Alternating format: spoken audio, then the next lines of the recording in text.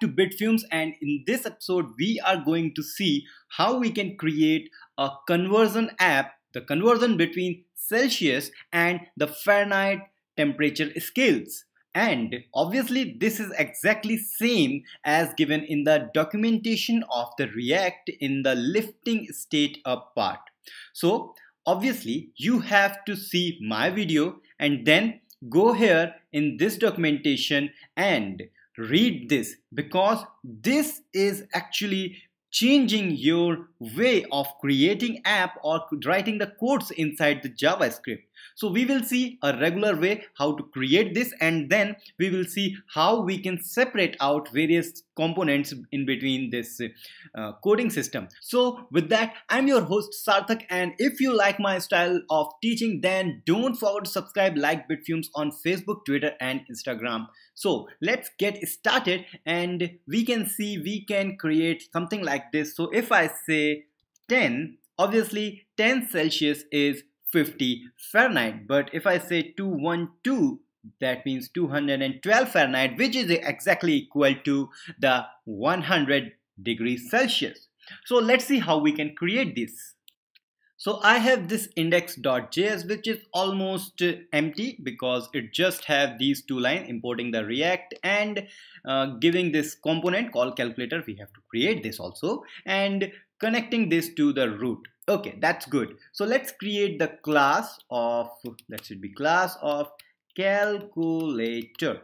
Okay then extends react dot component and here constructor which accept props and super which also accepts prop.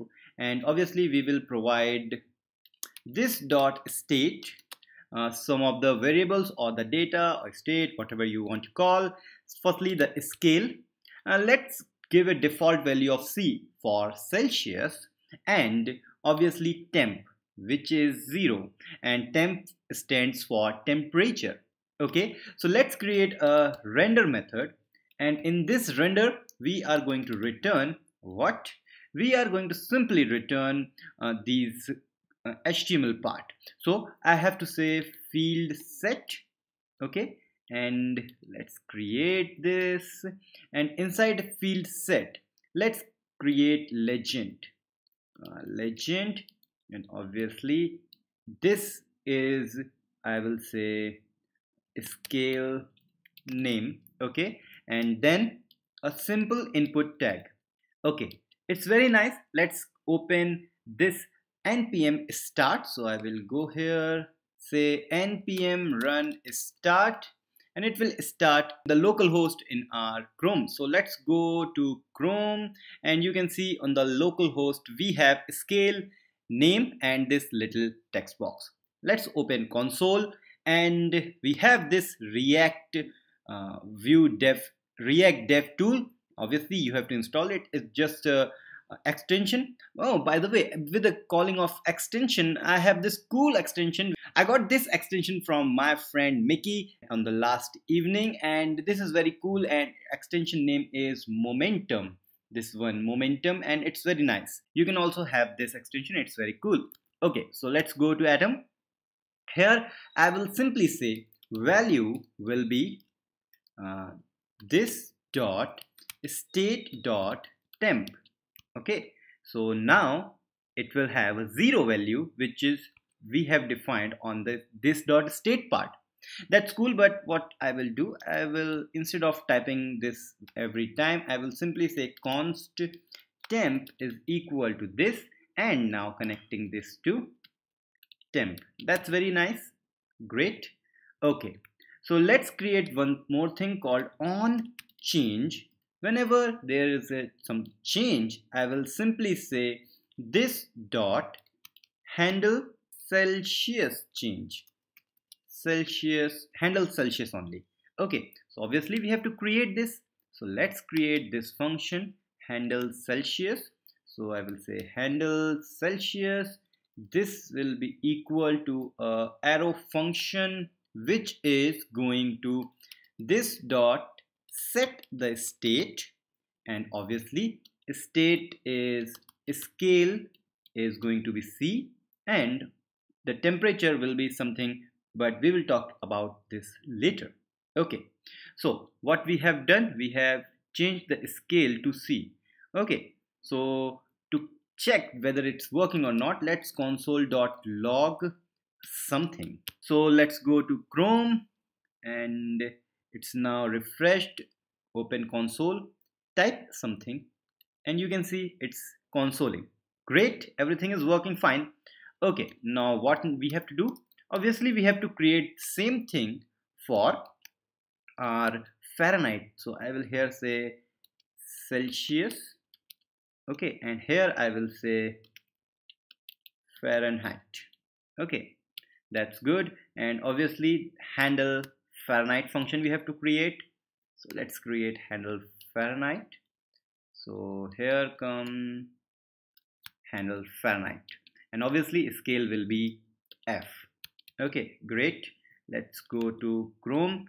And it says oh yeah we have to provide all this inside a div so that there will be only one field inside the component. Okay so this is good. Let's go to Chrome and done. So let's open React.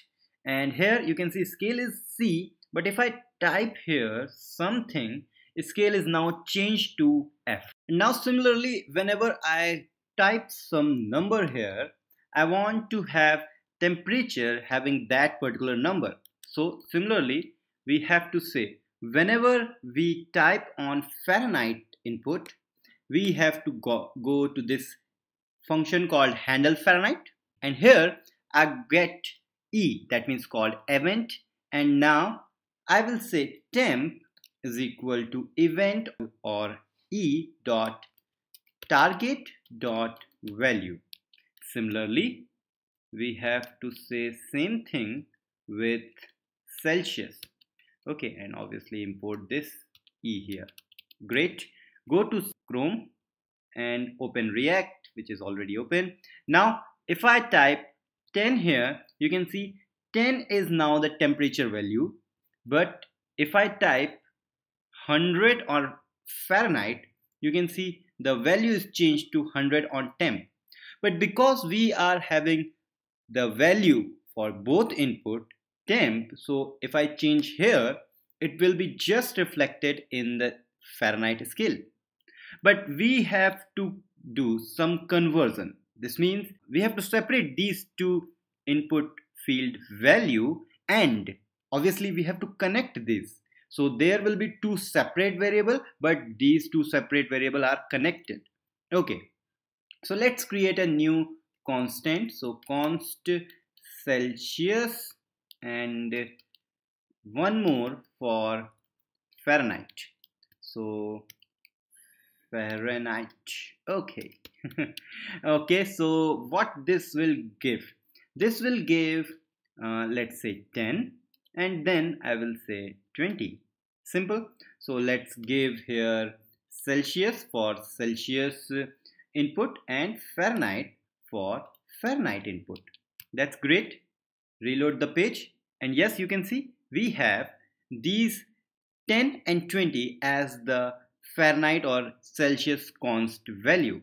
Okay, so how we will connect Celsius and Fahrenheit scale? So firstly what I will do, I will check which scale is there because if I type something on Fahrenheit the scale changes to Fahrenheit. If I type something on Celsius, the scale changes to Celsius like this. So we can define on which input we are on. So let's create a new constant called scale is equal to this dot state dot scale and I will check scale if it is equal to Fahrenheit that means if we are typing something on Fahrenheit scale then the Celsius scale will be now the temp divided by uh, let's say 5 okay.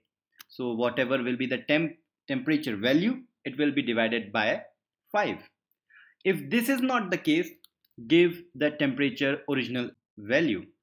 Similarly if we can do the same thing for Fahrenheit scale if scale is Celsius. This means if we are working on, if we are typing on Celsius scale, then do temperature multiply by 5 otherwise give the temperature itself.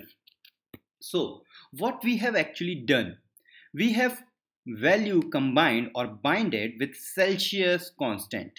But celsius constant itself is checking whether scale is fahrenheit or not obviously when we first load the scale is celsius. Okay? So this will return the temperature value which is 0 by default. And whenever we type something on Fahrenheit it will divide that by 5 so let's see all these things in action. So we are here. If I type 10 you can see it's easy and converted to 50 if I type 5 only you can see 5 divided by 5 is 1 on Celsius scale. This means our app is now having all the functionality but obviously this is not converting between the Celsius and Fahrenheit scale. So instead of this logic what we can say we have to convert from Fahrenheit to Celsius. So what will be the formula? For this formula will be F minus 32 and obviously multiply by 5 by 9 okay. And here if we are on Fahrenheit scale we have to do the opposite of this which is temperature multiplied by 9 divided by 5 and we have to plus 32 okay that's great. And reload this page. If I type 10 it is 50 and you know which scale or at which temperature the Celsius and Fahrenheit scale are same Actually, this is the minus 40. At minus 40 degrees Celsius, it is same as minus 40 degree Fahrenheit. Some important tips. Don't worry, I'm not going to teach you physics. Okay, so come back here and everything is working fine. Our app is completed, but what is going on? This is all messed up.